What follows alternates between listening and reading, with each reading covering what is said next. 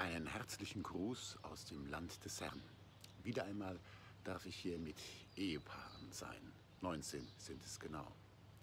Als die ersten Jünger hier in der Gegend von Jesus berufen wurden, fragten diese ihn, Meister, wo wohnst du?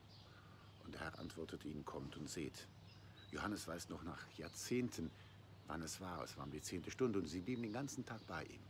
Wir dürfen zehn Tage jetzt bei ihm bleiben, sehen, wo er wohnt.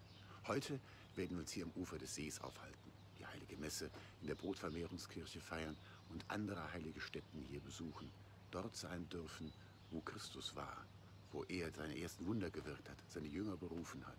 Ich freue mich auf diesen Tag. Die Brotvermehrungskirche mit dem berühmten Mosaik aus byzantinischer Zeit, das auf dieses große Wunder Jesu hinweist. Von dort sind es nur wenige Meter bis zum See Genezareth, zum Ort Dalmanuta. Auch dort kann man die heilige Messe feiern, ein friedlicher, idyllischer Ort. Mit einem Boot fuhren wir ein Stück über den See, hörten das Evangelium von der Stillung des Seesturmes und der Skipper zeigte uns, wie man zur Zeit Jesu die Netze auswarf. Unser Besuchstag endete dann in Kapharnaum, jener Stadt, in der Jesus viele Wunder wirkte.